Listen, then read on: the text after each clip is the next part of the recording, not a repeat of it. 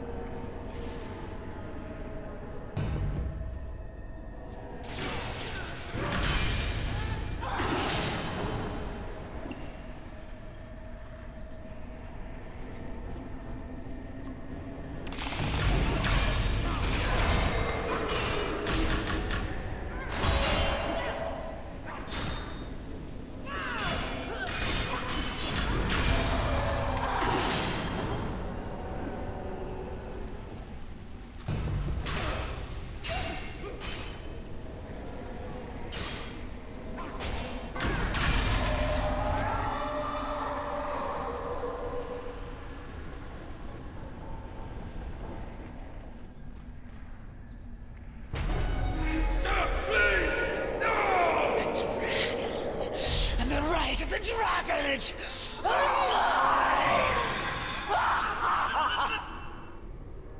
oh, hello again. Your friend is well, I hope. Have fun.